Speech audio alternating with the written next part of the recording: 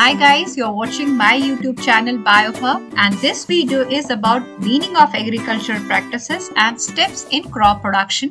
Agricultural practices farmer अपने खेत में जो डिफरेंट एक्टिविटीज़ या टास्क परफॉर्म करता है राइट फ्रॉम सॉइल को प्रिपेयर करने से लेकर हार्वेस्टेड प्रोड्यूस को स्टोर करने तक वो सारी एक्टिविटीज़ को बोलते हैं agricultural practices and there is a sequence of those agriculture activities.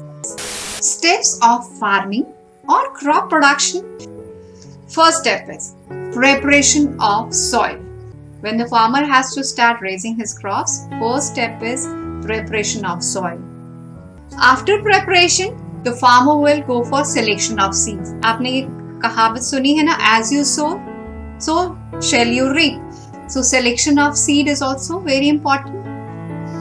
After selecting seed, you will go for sowing and in sowing you will come to know that seeds को field में लगाने का process is sowing. Fourth step is manuring. Fifth step irrigation. At what stage watering of the plants is required, how much of water is required, that is taken care of in fifth step. And sixth step जब हम खेत में manure डाल रहे हैं पानी दे रहे हैं तो खेत में कुछ अनवांटेड प्लांट्स के सीड्स भी होंगे वो ग्रो करना शुरू हो जाएँगे and they will gradually start competing with our crop तो उनको रिमूव करना it comes in the six step and that is called weeding Seventh step is to protect our crop, which is growing now in the field from different type of insects or different type of uh, other animals, even rodents. And for that, farmer is using different type of methods. So those methods will be covered in seventh step of farming.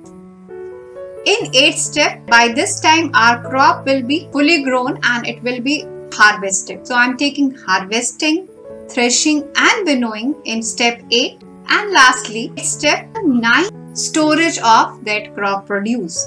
Farmer will go for storage on small scale, on large scale. So these are the nine steps about methods of crop production. It's time to sign up. Hope to see you soon in my coming video. Till then, take care. Bye bye.